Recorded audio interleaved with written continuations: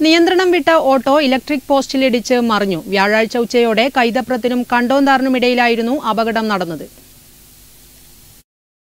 മാതമംഗലം ഭാഗത്തു നിന്നും വരികയായിരുന്ന കെ എൽ അൻപത്തിയൊൻപത് എൻ അറുപത്തിനാല് മുപ്പത്തിനാല് നമ്പർ ഓട്ടോറിക്ഷയാണ് അപകടത്തിൽപ്പെട്ടത്.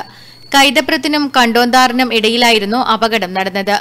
നിയന്ത്രണം വിട്ട ഓട്ടോ ഇലക്ട്രിക് പോസ്റ്റിൽ ഇടിച്ച് മറിയുകയായിരുന്നു. അപകടത്തിൽ പരിക്കേറ്റ ഓട്ടോ ഡ്രൈവർ കുപ്പം സ്വദേശി കെ നദീർ പരിയാരത്തെ കണ്ണൂർ ഗവൺമെന്റ് മെഡിക്കൽ കോളേജിൽ ചികിത്സ തേടി. Network news Pilathara.